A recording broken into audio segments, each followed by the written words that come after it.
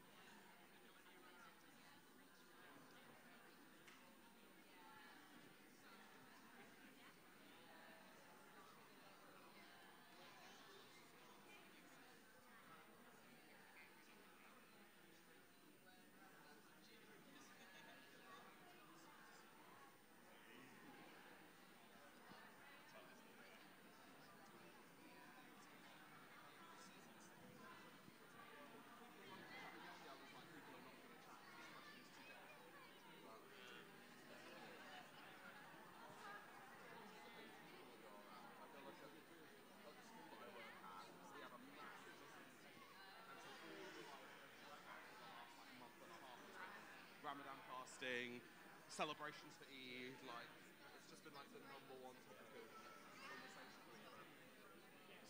And I guess because it's not, you know, Eid is not well celebrated as much as Christmas and, you know, Easter where we get the holiday. So, in a way, some people feel, oh, why can't we have, but it's not a national holiday for this country. Yeah. So that is an interesting, an interesting question.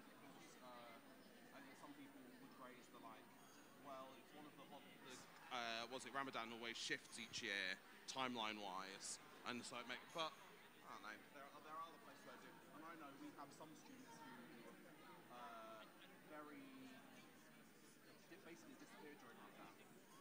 So I know last year I had some year sevens who their mum and dad took them back to Saudi for a month. Just because of the, I mean, and when, I, when I saw the notice in the register saying they've gone to Saudi for a month, I was like, that's a bold choice, but fair play if that's what the parents feel like is best. But Time? Okay. If I can politely ask you to wrap up your conversations. Thank you very much. Um, I realize I'm, I'm aware often when I'm up here leading that I sometimes slip into how I am as a teacher. Um, although I haven't quite ever gotten to the having to do a countdown to get people to stop talking, um, thankfully. Uh, so, hopefully, I was worried initially that it would be too difficult of a conversation or difficult of a question for this time in the morning, but uh, you guys stepped up to the plate and had loads of chat, which was fabulous. Um, I was uh, saying to these folks at the front that uh, for me, this question has been kind of the top of my brain because the school that I'm in has a really big community of people who follow Islam, who are Muslim. And so it's been a big topic of conversation in our school for the past like month and a half uh, about Ramadan and about leading up to Eid and what, what are they doing for Eid and what's the dress they're wearing and all this kind of stuff. And so it's been a question that's been kind of in the top of my mind. Um, I was talking to a colleague uh, on Friday and saying to her about how it used to be when I worked at McDonald's before I was a teacher that um, Ramadan was my favorite time of year, primarily because my colleague Ali would go to the mosque every night when they broke the fast and would always bring in like curries and food the next morning. And so we'd all reap the benefits of him being like, oh yeah, there was this leftover goat curry from the mosque, like, um, and it was fantastic. Um, and I was also I was chatting to uh, to think of something else. I was chatting to Sam this morning about how. Uh, uh, again, prompted by our theme this morning, um, I was thinking back to when I was at uni. So in 2009, um, I was uh, kind of in the phase of my Christianity where I was very much like, have conversion conversations with everyone you speak, very, very intense, like evangelical Christian. And uh, on my course, the first person who I really bonded with and made friends with um, follows a pagan tradition. And that was a real, like, stopped me in my tracks, didn't really know what to do with it. But actually, having conversation with her was really interesting to discuss kind of the perspective we had on the world and what our kind of faith journey uh, showed us about how the world worked, which is really interesting. And I think that's part of why we're looking at this this morning to uh, consider where there are places or things that other faiths do that actually can be an example for us in one way or another. But anyway, I'll leave that to Sam to talk about later. I don't want to steal his point um, by accident, uh, I promise. Um, Right, what we are going to do now is um, I'm going to uh, lead us in a prayer, and then we are going to sing together as part of our worship this morning. So if the band want to start sneaking up, and then uh, and then I will lead us in a prayer before you guys uh, start.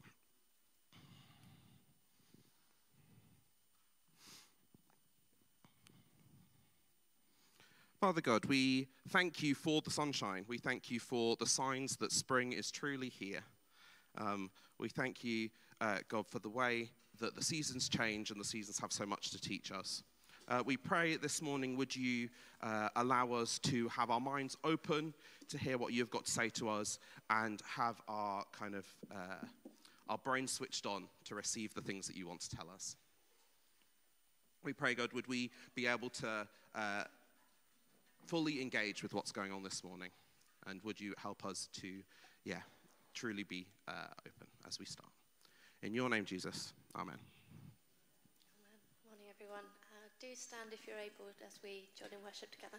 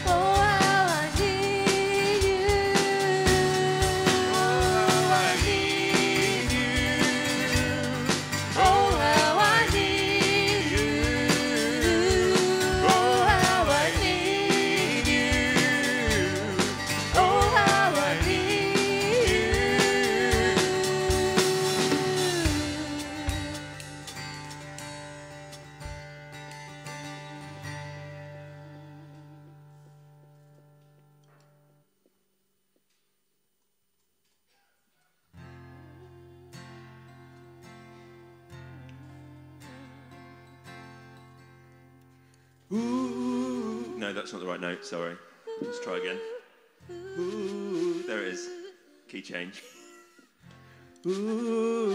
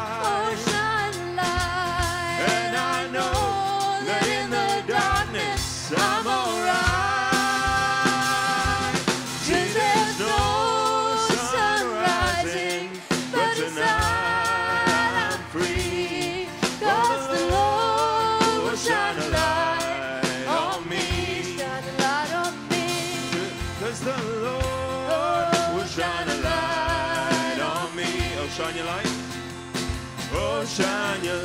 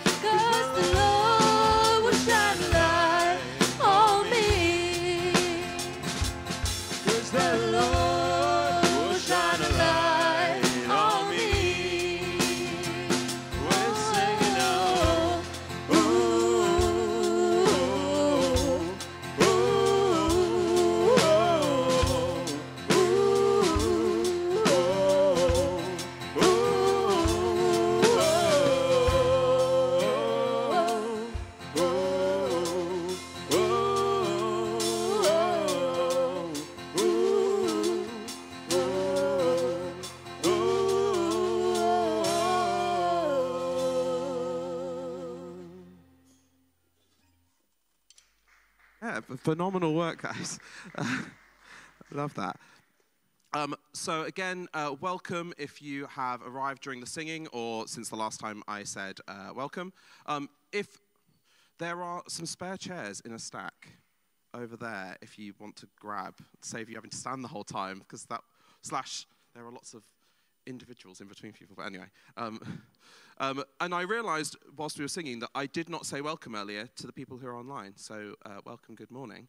Um, I hope wherever you're sat, whether it's on your sofa enjoying a coffee, having not changed out of your pajamas, no judgment. Uh, that's that's me every other week, so I can't really judge. But uh, I hope you are also uh, feeling welcome and awake this morning, um, or not. That's fine. Anyway, um, before our uh, young people go out to their groups, um, we have a whole bunch of things coming up in the life of our church community, um, which I think uh, it would be good to share with you whilst everyone is in the space. Um, if you, first of all, if you do not already get the church email, the Life of One Church email, or look, um, please do contact Fran uh, who is waving at the back in green, or is Fran at onechurchbrighton.org? I always forget if there's a .uk on the end. There's not. Or, or also, yes, especially if, well, if you're in the room at least, um, there's also these cards, um, these kind of green Welcome to One Church cards. There's a bunch of them at the back. I've got one at the front. Um, so if you want to fill that out again, that's a good way of getting the newsletter because the newsletter comes out every week and has everything you need to know on it. I constantly go to it because I am very forgetful when it comes to times and dates. Um, and I am now going to read from said email so that I don't mess dates and times up. Um, so the first notice is on Tuesday, the 23rd of April, so this Tuesday coming, um, there is a newcomer's meal.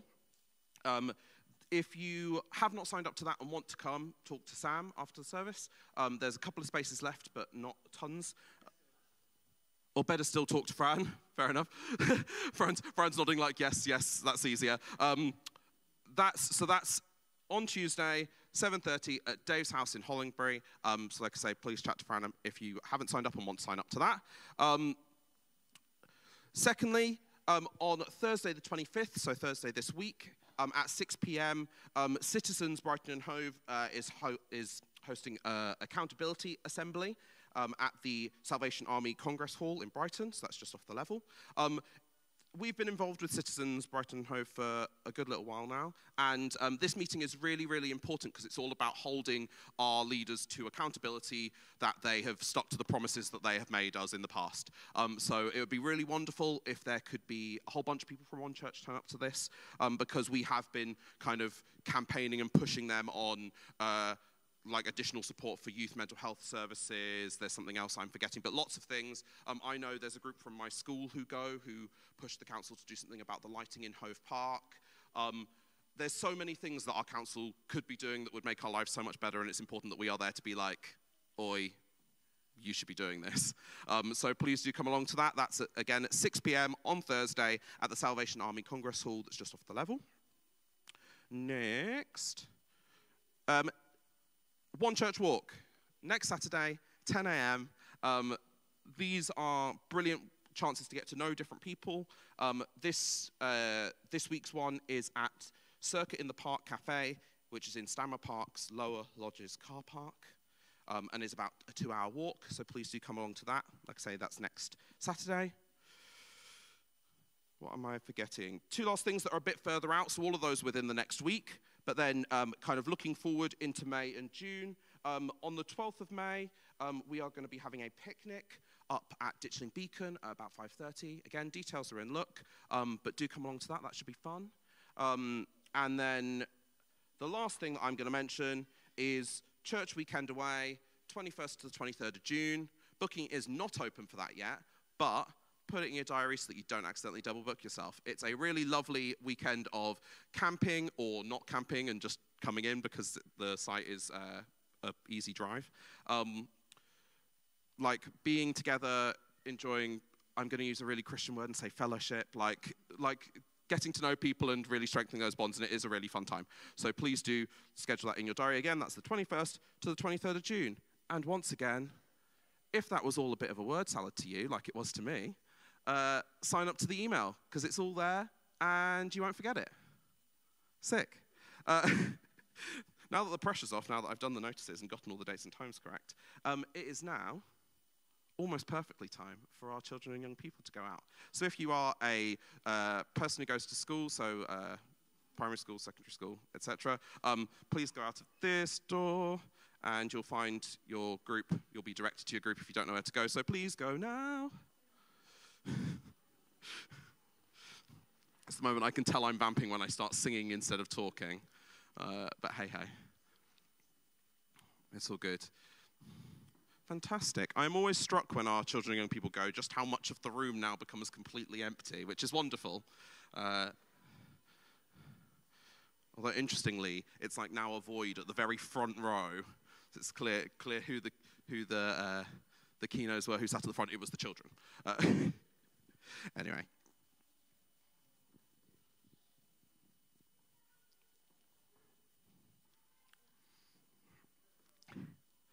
Right. Um, before we uh, sing again and then uh, kind of move into Sam's talk, um, I thought it would be um, really important for us to have some time to uh, have some kind of quiet prayer together. Um, I don't know about you, but every it feels like every time I turn my phone on and look at any sort of social media feed, uh, there is some sort of new disaster waiting for me in the world news, and uh, I feel like it's really important for us to make sure that we're having regular time to like consider this stuff and bring it before God. Um, um, so uh, again, you you know in your mind immediately what comes to you when I when I kind of say that. Um, I'm going to give us a kind of two three minutes for us to sit in quiet and have a think about this stuff, and then I will uh, pray at the end to kind of draw us to a close. Okay, so whatever is on your heart, uh, bring before God now.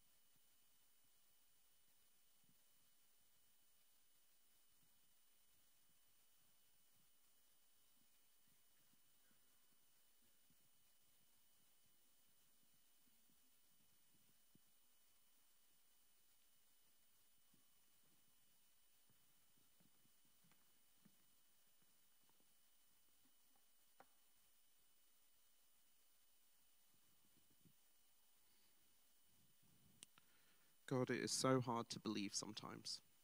So hard to. So hard to see hope when we look at uh, things that are going on around our world. Lord, would you help us to hope for a better day, to know the places where we can put in action? Lord, would you speak to us and show us the way where we can make a difference in the situations we're in? Because, God, sometimes it's very difficult to see hope and see love. So, would you show us? Would you show us uh, your mighty love? Would you help us to, again, to know which places to put our effort and our action? And would you help us to be gentle with ourselves in the overwhelm of everything? We pray, God, that you would uh, shine your light in so many situations around the world. Would you bring your peace, your resolution, your justice, your love, your mercy? We pray this all in Jesus' name. Amen. as I was uh, thinking about kind of again about uh, bringing these thoughts before God this morning, I was reminded of this quote um, that stops me in my steps every time um, I read it. This quote is supposedly attributed to a person who was in the internment camps during the Holocaust, um, and it says, "I believe in the sun even when it is not shining. I believe in love even when I cannot feel it, and I believe in God even when He is silent." And it challenges me in the moments where I can't, where I really struggle uh, to remind myself to that there is hope, and uh, I believe in a God who is uh, bigger than it all, um, even when it is a real, real struggle. Right. Before Sam comes to talk to us, we are going to sing again as part of our worship. Um, of course, if you want to continue uh, being reflective and sit in that mode, feel free to not stand and sing, but to sit and reflect. Um, it's all uh, up to you. But if you would like to, uh, please do uh, stand and sing. Nice. Um, these next couple of songs, um, I guess, for me, are about um, trying to bring ourselves before God to um, not only be in God's presence, but also to listen, because I think that is a really uh, lost skill that um, not only in our in our culture but in our spiritual lives can be lacking. And I think as we're trying to tackle these ideas of um, thinking our way out of difficult problems and um, finding new ways of conceptualizing uh, some challenging ideas, um, the first place for us uh, as as a people of faith has got to be to just slow down and come before God and listen. And so this just gives us an opportunity before we hear from Sam just to make ourselves available uh, to hear from God, um, even if that's not in any sort of smack you in the face kind of a way. Uh, just to, to have space is a, a really valuable thing. So just use this time as works best for you, uh, whether that means singing, standing, or just sitting quietly. Um, just take this time to bring yourself before God.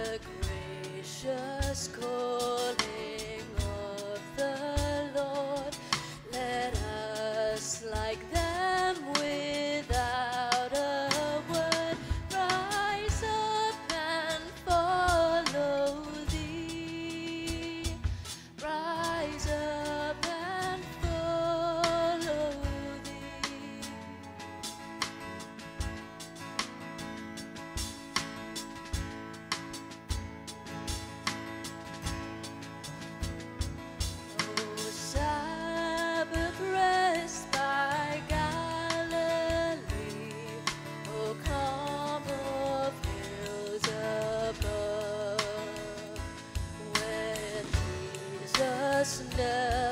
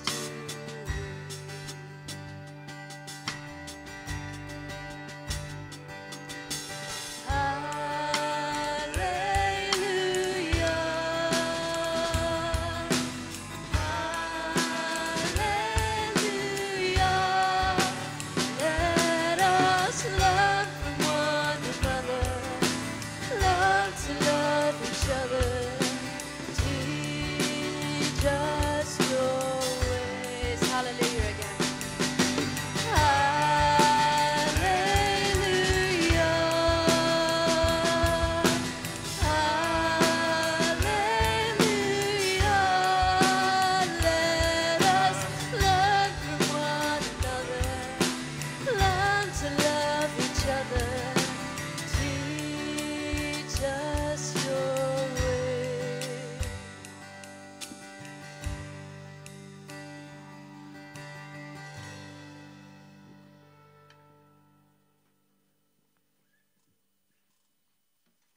Thank you so much for leading us in that. Um, as Sam now comes up to come and talk to us, um, I'm just going to pray for him as he comes up. Father God, we thank you for Sam.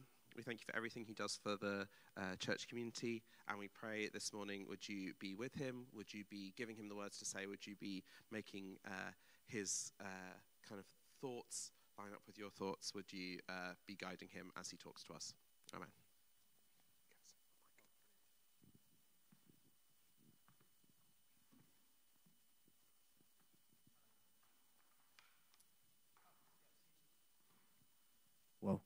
Hey. No technical problems here. Um, yeah, thank you, Tim. And thanks, you. Got, that was such a lovely time, wasn't it? Um, and really sits very close, I think, what we've just done in, in sharing that choir and in sharing those songs and that thought of how can we learn from each other? How can we love one, one another? Just to directly quote the song.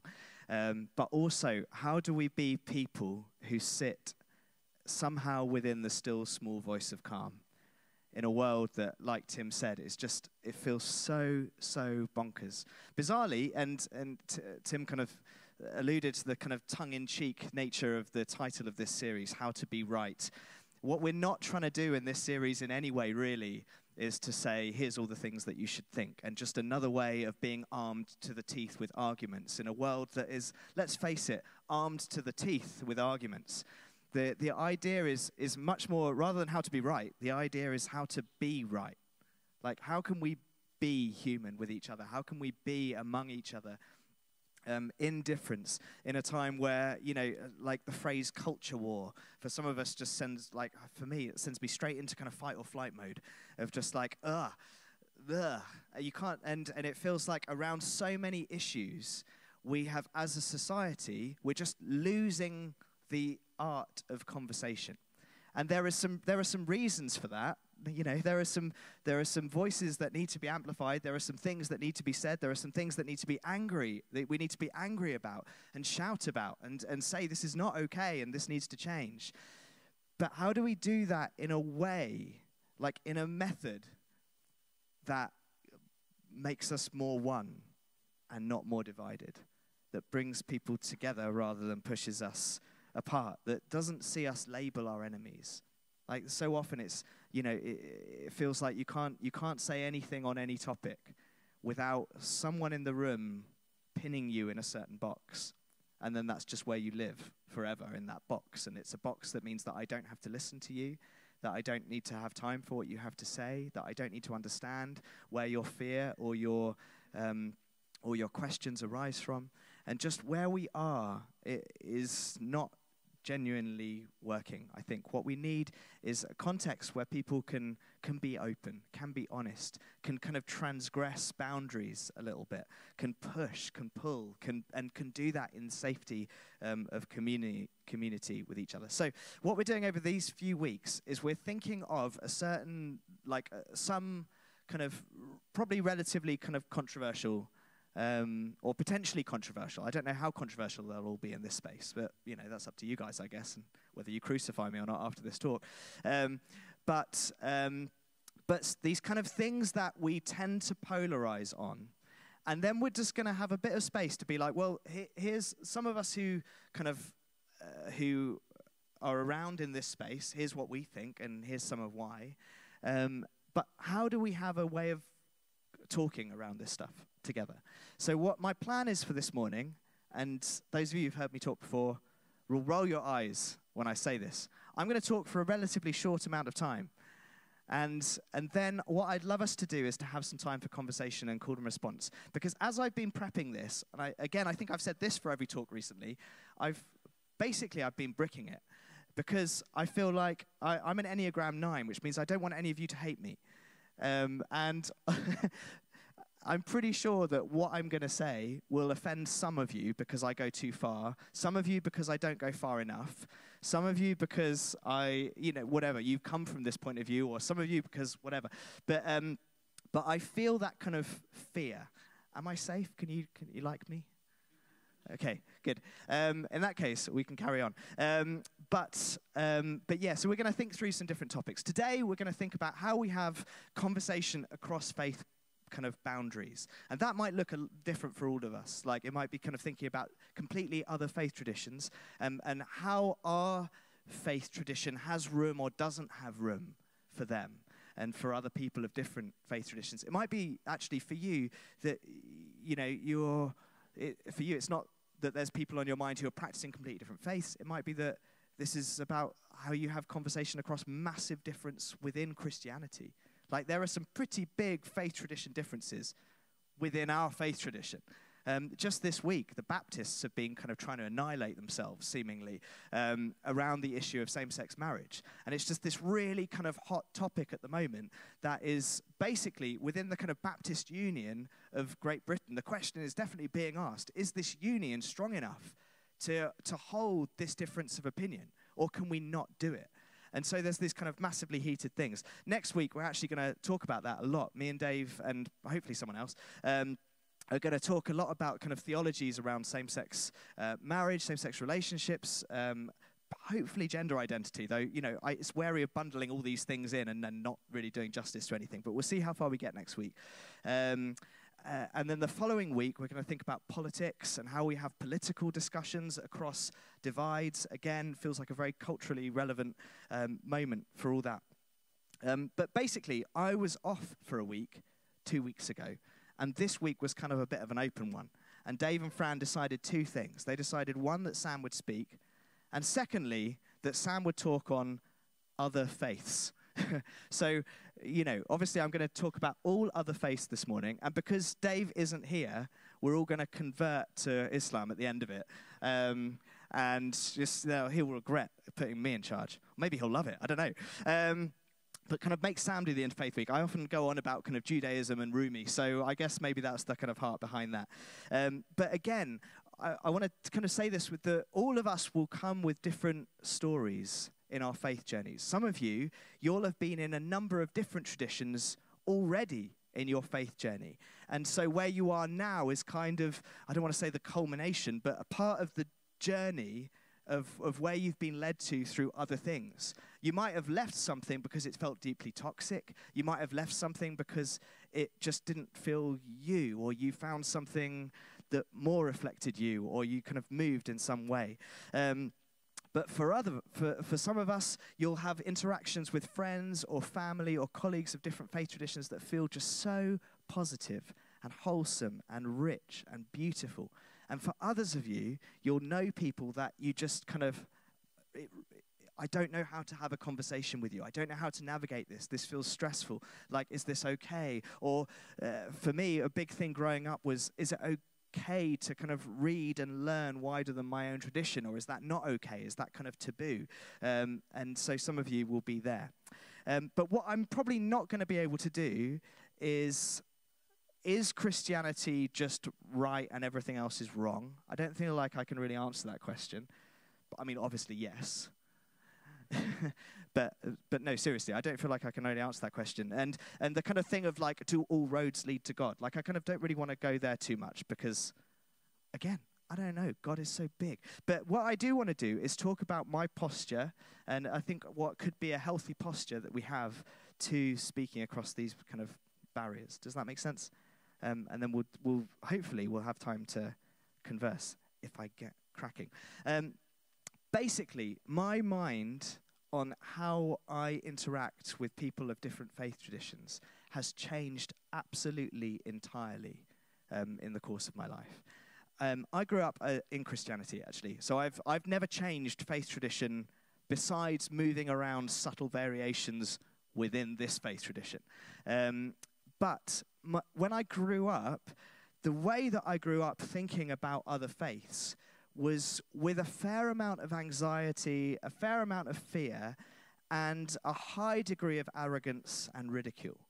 Um, so I thought that I kind of kind of understood other faith traditions, but it was because I was kind of taught a few very simple things about other faith traditions. Mainly, I was taught those things so that I could kind of take them down in my head. Like, and that meant being taught the kind of the worst things normally um, about other faith traditions. Um, and uh, kind of the idea was I need to know about other faith traditions so that I can do two things. One is so that I can convince people of those faith traditions why my faith is better than theirs. So I need to learn just the things that I need to kind of have the tools that I need to kind of take them down. Um, and the other is to kind of avoid the dangers of them. So, like, the only thing I knew about Hinduism growing up was like loads of gods. The gods have loads of arms, and some of them are blue, um, and it's probably demonic. And so, don't read anything about it, or it will get in your head, and then you'll get demons too. You know, that was, I mean, I'm, I'm sort of overstating it, but sort of not. Like, that was really, that was my understanding of Hinduism. My understanding of Judaism was it's all about earning your way to God, because my understanding of Christianity was you don't have to do that. So that was my understanding of, of Judaism, just these really simple things. But it kind of came down to you mustn't read the actual texts of other, other faiths. Um, some people did, and they told us why they weren't right. But I wasn't to read them. Um, and I wasn't to learn from people of different faiths because, um, uh, because I, I didn't need to and because it might be dangerous. It might lead me astray. And again, I don't think I'm overstating that. That actually is where I come from. And that's changed massively. I remember that uh, kind of some of it changed through encounters with people. So there was this one time um, where I was doing, and again, trigger warning. I was doing street evangelism. Which is not a way that I loved spending time. Um, because, again, Enneagram 9, don't want people to hate me. Um, and people don't love street evangelists a lot of the time. And street evangelists have earned that a lot of the time. Um, but we were kind of doing this kind of how do you share the love of Jesus with people on the streets? So going out and telling people that Jesus loves them. You know, it's all framed very nicely. And, and I was really meaning it nicely, I think.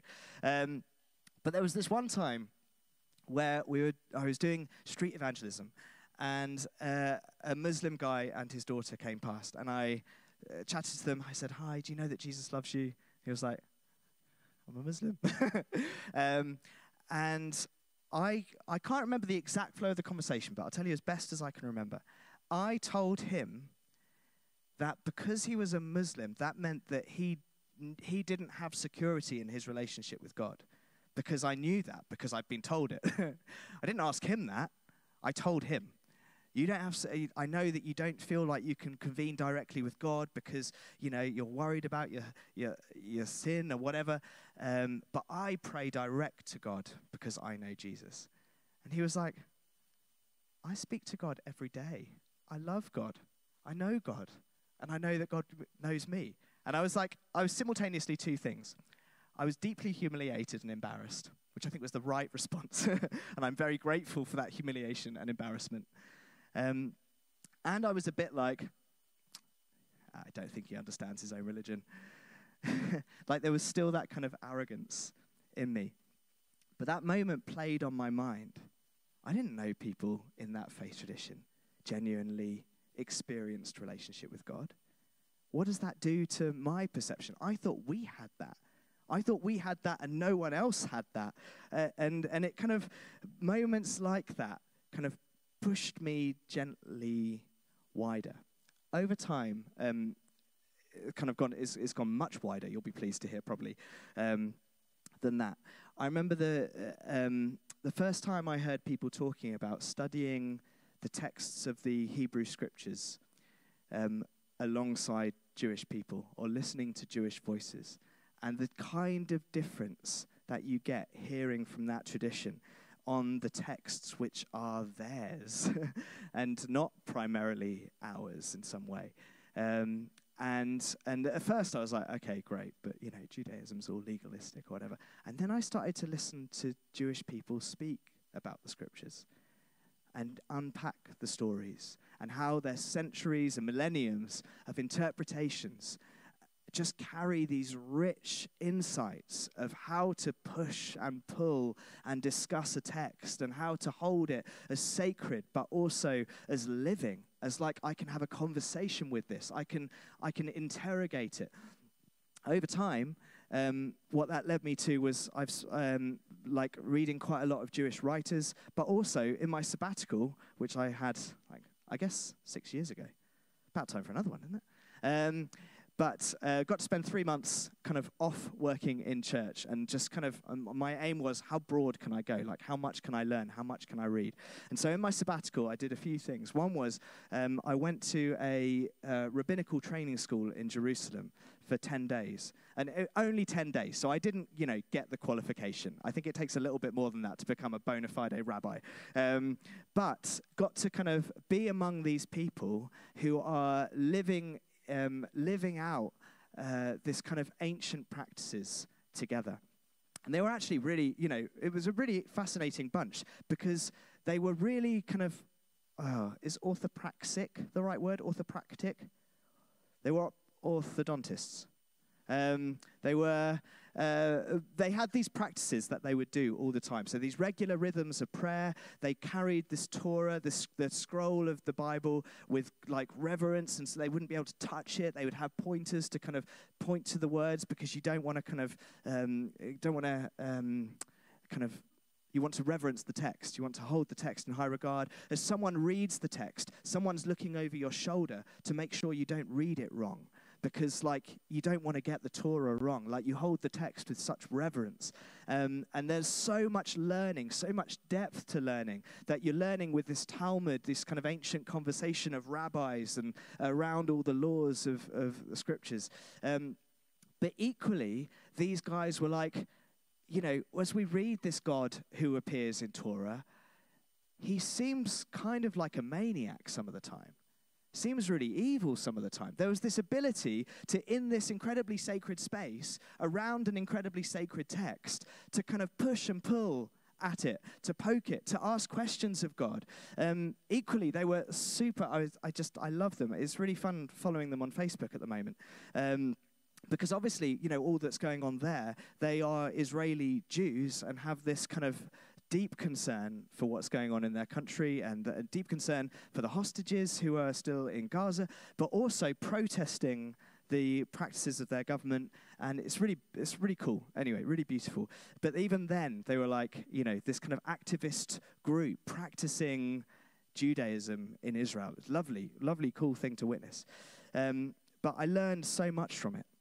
Also during my sabbatical i read the bhagavad gita for the first time and I tell you what, I felt so naughty downloading it onto my Kindle.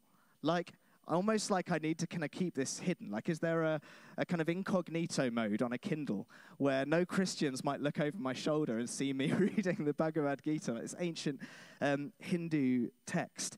But what I kept finding in, in, in that as well, if you read the Bhagavad Gita, some of it you know, to me seems a little bonkers, like God turns up in this little blue kid. Um, but it's also incredibly, there was so much of it that I read and thought, I don't know if we're necessarily talking about entirely the different thing here. Like, seems to me that some of the lessons of Hinduism, and I, I listened to some talks on it as well, and kind of like from people who practice it that kind of helped. But loads of the practices basically are this. Over time, what we do is we kind of gain rubbish. Like, and that rubbish kind of clings to us. And it might be our view of ourselves, it might be our ego, it might be our perception of where we sit in the world, our perception of someone else, the things that we do that cause harm, that complicate. And, and the aim of practice is to kind of allow that stuff to fall away and to discover the divine within. I might be oversimplifying it, but the more I read it, the more I was like, didn't Jesus talk about dying and in dying finding life? Like the ability to kind of let yourself go, and paradoxically, when you let yourself go, to find newness and to find wholeness.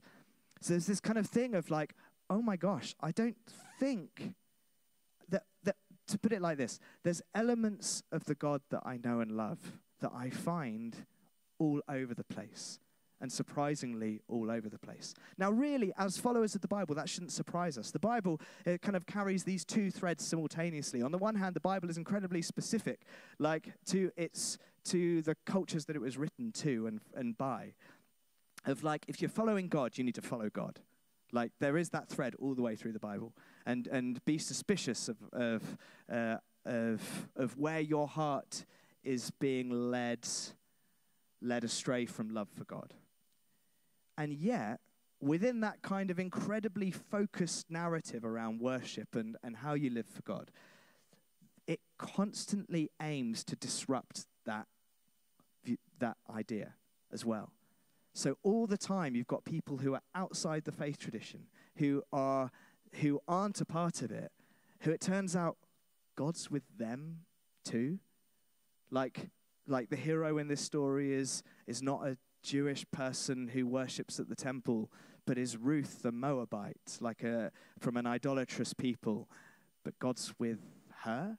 Or like the hero in the book of Jonah, isn't Jonah the prophet of God, and uh, uh, you know, and and his he's got his religion down, he's got his theology down, but weirdly, the sailors who are kind of these kind of pagan sailors don't know anything about God, and yet seem to know God better than Jonah does, and God seems to be with them, and um, and the people in Nineveh who seem to respond better to God than the people of God. And there's these constant kind of disruptions that happen all the way through. Like in Matthew, who are the first, like the first, well, I mean, if we go from Luke, the first would be the shepherds. In Matthew, the first people to come and visit Jesus are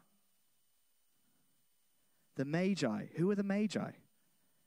Were they, yeah, exactly. They were, wait, is it astrologers or astronomers? Which, which one's the, the astrologers? I will, I will live my entire life and not remember this distinction. Like every single time those words come up, I don't know which one is the, the science one and which one's the horoscope one.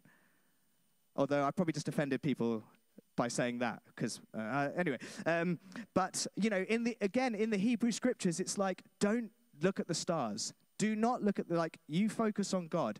Don't look at the stars. God is not in that. And then the first people to show up to Jesus' birth are people who saw a star and followed it and came to worship. It's like this other religious group who are just celebrated, and we just think it's part of the story and perfectly normal because it's in the Nativity. And, uh, but it's, it's bonkers that that's there. Or like um, in Luke 4, Jesus stands up in the temple, in, in synagogue in his hometown and says, Can I tell you some stories, guys? And they're like, Yeah, yeah, yeah, this guy seems cool. And he's like, Let me tell you who God met, um, some people that God met.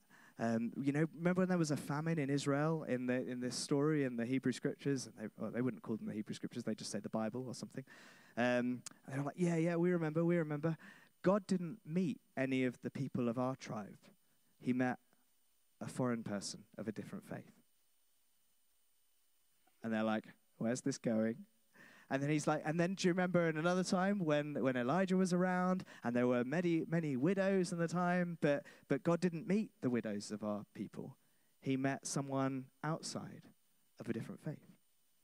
And the people try and kill him. like the people in the synagogue, his hometown, take him out and try and throw him off a cliff for saying that God is with people who think differently to them. Um, and uh, it's a great story. Um, but then also, oh no, I could go on like this.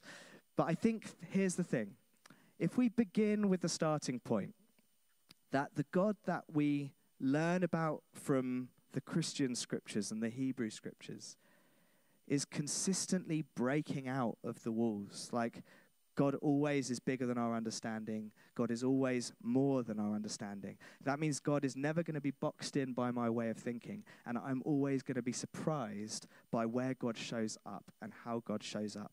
But here's, here's kind of where that, where that, where a switch happens for me is that doesn't just mean, I don't think, that in God's kindness, God lowers God's self to sometimes being kind to people who are wrong outside of Christianity. So, like, obviously, God's on our team, right? But sometimes God will kind of branch out of that and just be kind to someone else because God is so kind. I think I've started to think about it in a, in a different way to that, which is it is in God's kindness that any of us get to know God. And that kindness of God, that desire to be known, means it shouldn't surprise us that God shows up all over the place because God showed up for us. And if God wants to meet with us, God wants to meet with everyone. What it also means is that as God has been doing that with humans throughout the centuries, it's not surprising that when we look at the practices and the traditions of other faiths, we see things that are like, I feel like God's here. Does that make sense? And how do we be then people who learn from that? So there's been points when I've kind of looked at different faith traditions that, um, and again, I've very kind of surface level looked at different faith traditions. I don't want to be an expert on anything, as I'm not. Um, but kind of, you, you find some things that we have in common. And it's like, oh, that's really interesting. Here's some things we have in common. There are other moments where you start to find things that it's like, that's not just in common, that is something that we, in our tradition, have lost or have forgotten or have never developed at all that's actually really beneficial. Like, think about, um, oh, this is an example probably of something we've lost. But it was through reading the Bhagavad Gita and through then hearing some talks on that that I started to kind of look up about Christian meditation. And there's this little move of like kind of Christians being like, can we use the word meditation? Is that okay? and it turns out, of course, it's okay. Like some Christians have been using the word meditation for centuries, but for me, it just had really negative associations. But there are these traditions that have faith practices of silence that that offered a beautiful contrast to the kind of way that I that I had learned my faith, which was very noisy and very talky and very full on. It was very about knowledge. It was very about filling your mind up. Emptying your mind is a bad idea. You need to fill it up and fill it up with the Bible. And then prayer is very is this constant stream of, of words normally. Not loads of room for sitting in silence. I didn't know how to sit in silence. Now it's not this is not me blaming my faith tradition and blaming myself. Like, uh, you know, that, that I think there was space there to discover this stuff. But for me, finding these traditions of meditation was really, really helpful. Finding within Judaism this thing of debate and talking and, and interrogating and pushing and pulling and having really, really interesting and vibrant disagreements in a room, but in a place that you're joined by your identity together. Like, we are Jews in this room, and we are together, and we are one and that's okay. And that means that we can rigorously debate. One of the core texts in Judaism is the Talmud. The Talmud is basically a 20,000 page argument between rabbis who see things differently. And I remember reading, um, oh, I listened to a podcast on this once, and I, I can't remember the exact figure. I've tried to quote it here before, haven't found it since. Um, but I remember I, I read it, uh, listened to it, and the guy was basically like, you know, there are 5,000 arguments in the Talmud. Do you want to know? And he said to his students, Do you want to know how many of those arguments get resolved to a satisfying conclusion?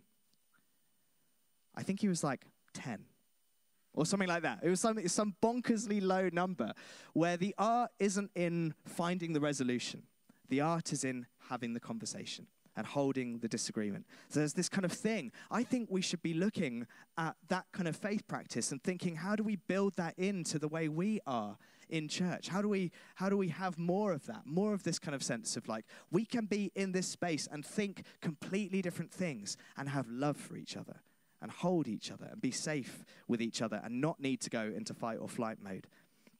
The other thing I feel like is and this is something I really found in, in Sufism and reading Rumi, is for me, as my faith growing up, and again, this is my problem, not my tradition's problem. With my faith growing up, I found that the more I learned, the less I fell in love with God. And, uh, you know, there was definitely this is more true in different times than others. But particularly when I went to university, studied theology, I was filling my brain up with theology as much as I possibly could, but not falling more in love with God.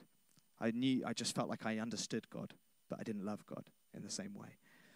And discovering Rumi and Sufism as this mystical trend, this mystical thread within Islam, I was like, oh my gosh, this guy is absolutely in love. Like, if there was a word to describe Rumi, it would be, well, this is two words, isn't it?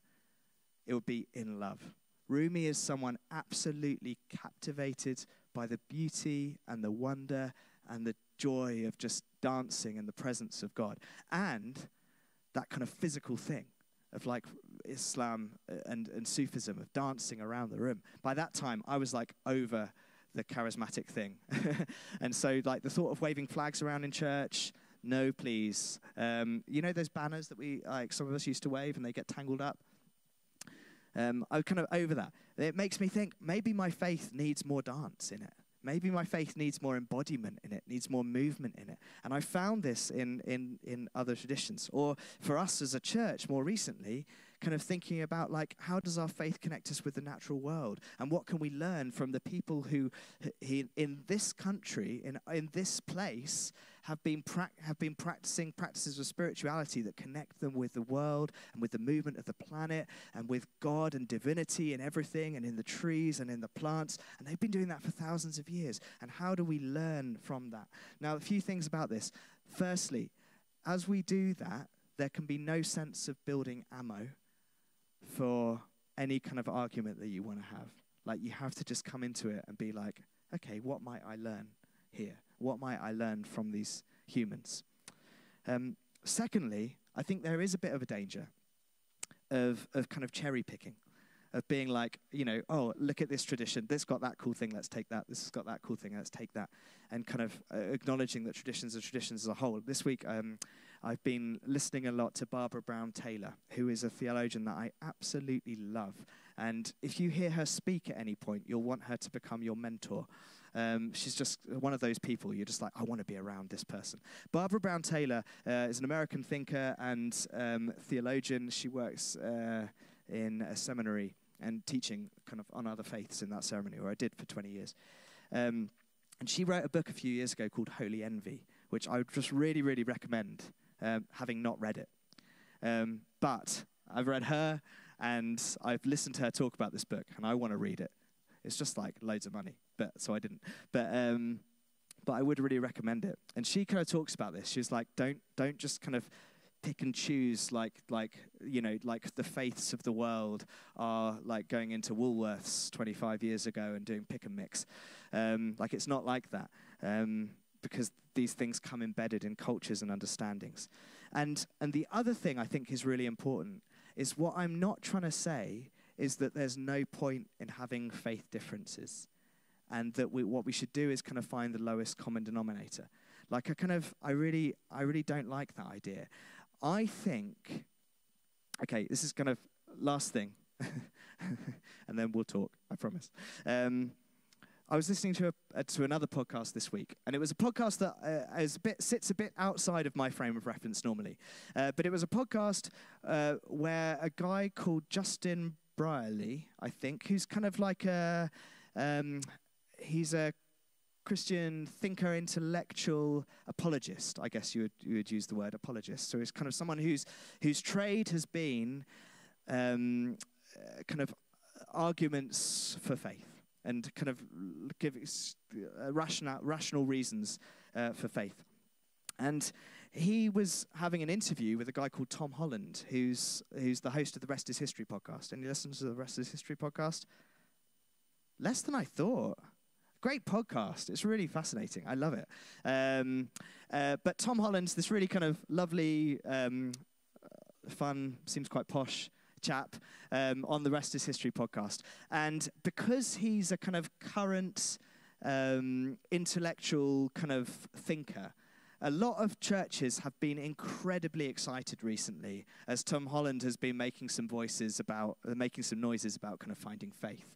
And you know, like w- the church is a bit like that. We're a bit insecure. So when anyone famous comes to faith, we tend to get really overexcited. I, I remember doing this at pri- uh, secondary school and trying to convince my friends that Christianity was right because that member of that band had just become a Christian and that made it legitimate and great. Um, so you should become a Christian too because if it's cool enough for them, it's cool enough for you. Anyway, I don't want to do that to Tom Holland at all, and I don't think he would want me to do that to him. Maybe he would, but I don't want to do it. Um, and kind of nothing about that. But one thing that he was saying, and that Justin Brierley was saying, is that Christianity generally, in its kind of attitude to other faiths and its attitude to atheism, has kind of been all about proving for a while and less about just living. And one of the things that they were kind of saying was it's okay to really, really be a Christian.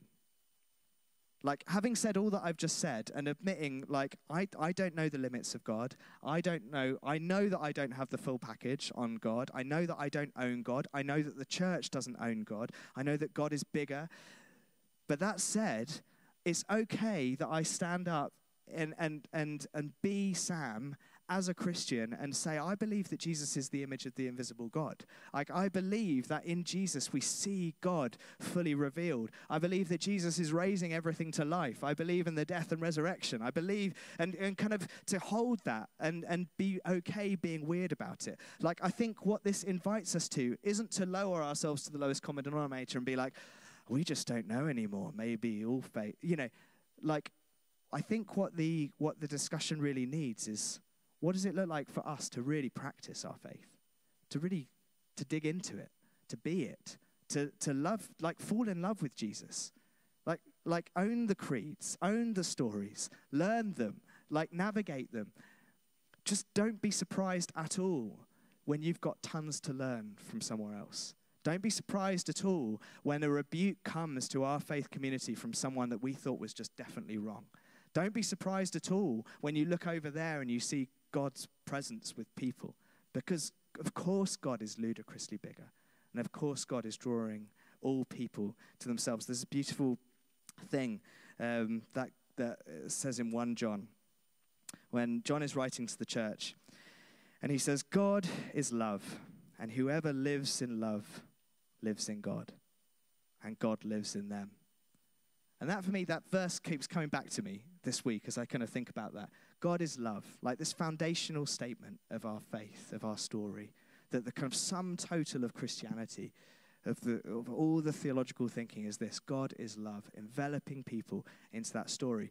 But the flip side, no, it's not a flip side, it's a beautiful other thing. Whoever lives in love, except that, just listen to the breadth of this statement for a moment.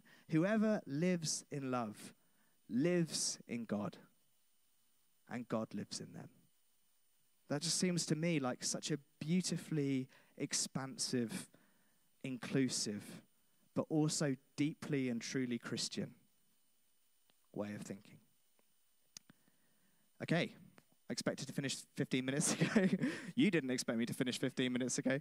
But here's, here's what I want you to do. We've got, we've got a few minutes just with the with the couple of people around you, I want you just to share for a moment. And again, you can feel free if you want to use this moment for a loo break and just avoid conversation. That's absolutely fine. If you want to go and get yourself a coffee, that's absolutely fine. Like you can just not not talk, or you could just listen to what other people say. Absolutely fine. But I want you to kind of maybe with the people around you raise two things. Firstly, as I've been waffling along, what has been what has piqued your interest? What are you like? Ooh I wonder, in a good way. And the other is, has there been anything that's raised your barriers a bit? Like, have I said anything or have we talked about anything that's like, this feels uncomfortable? And why does it feel uncomfortable? And it might be because you've got 20 verses why I'm clearly wrong, um, which would be absolutely fine. But just share that with each other, and we'll do that for five minutes, and then we'll kind of come together again and we'll close. Is that okay? So, again, try and include people around you that you don't know uh, or that you think are new.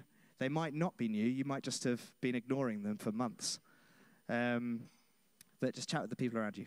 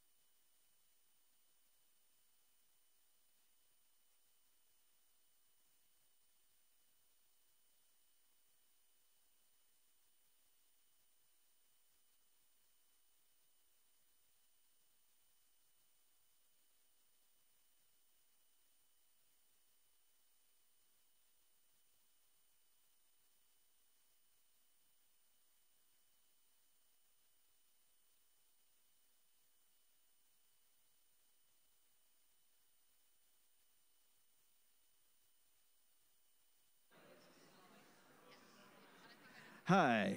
Um, so, it is 12 o'clock, but Tim very graciously gave me two minutes to get feedback on this. So I'd like to, I'd really like to use that, and he will be the runner. So uh, what I'd love to do is just hear, like, maybe just for a few groups, like, what, where were you going in that? And it's not going to be a Q&A. I refuse for it to be a Q&A because I don't have the A.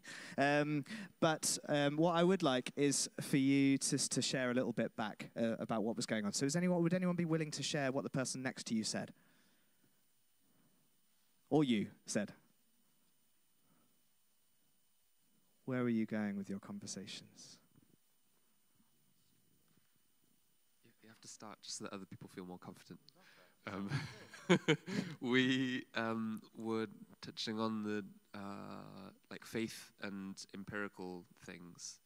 Like uh, ideally, in comparing other faiths, you would just see the arguments that they make, or in these debates with the rabbis, present the evidence, compare the evidence, win the victory, kind of thing, and turn out right in the end. But um, clearly, that hasn't happened.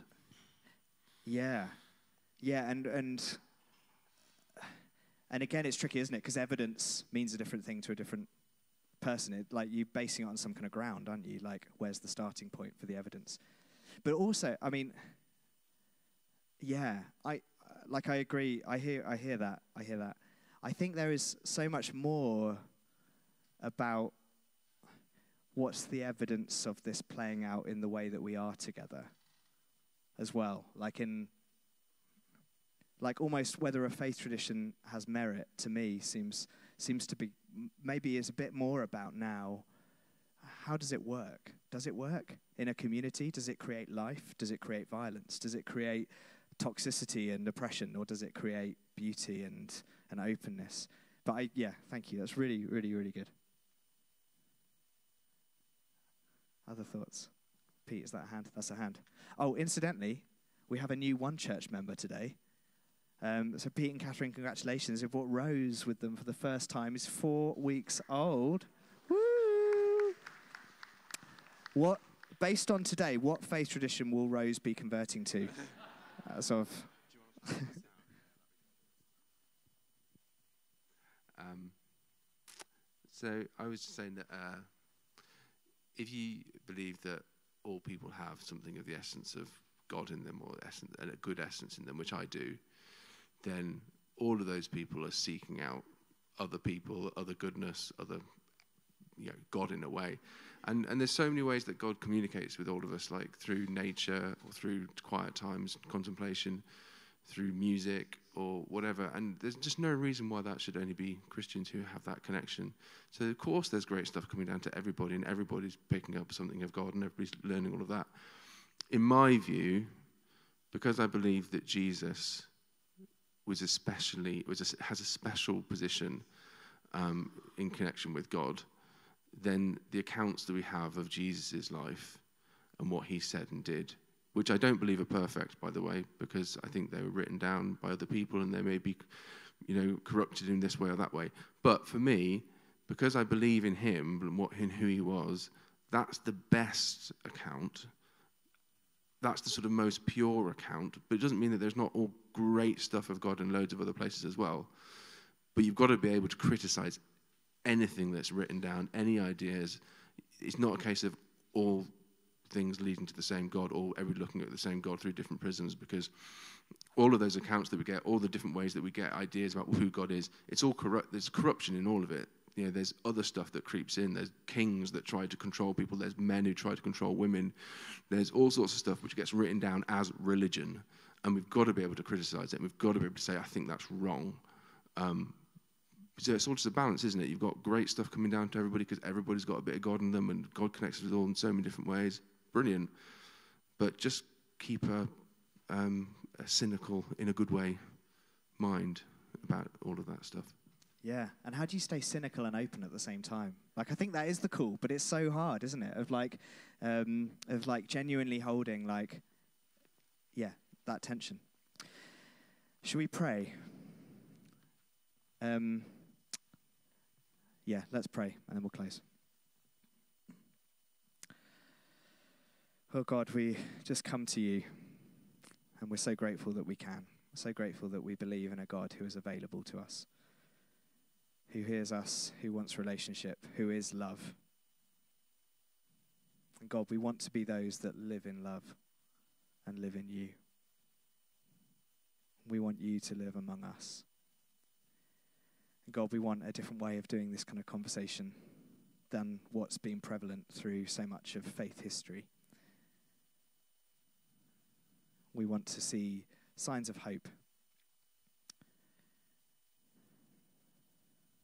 And we're so grateful, Jesus, for the stories of you. I just feel so deeply grateful to have such a strong testimony of a God of love and a God with arms wide open. So help us as we go. Help us to learn. Help us to walk with humility, with openness, and our eyes open. Amen.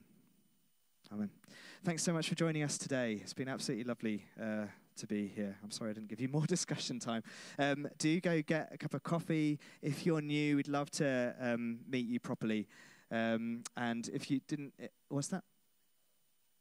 Green cards. Yes, we give out green cards way more easily than the United States do. Um, so if you want one, come and get one. Um, and Al. Thank you. Yes, there's a our monthly community meal is out the back after this. I can't believe I forgot to say that. Um, definitely, if you if you are available and you want to stick around and help out, that would be really really great. It's a beautiful thing to be a part of. Or if you just need to come and have somewhere to eat, you can do that too. Um, so definitely go and help if you can. Thank you. Bye.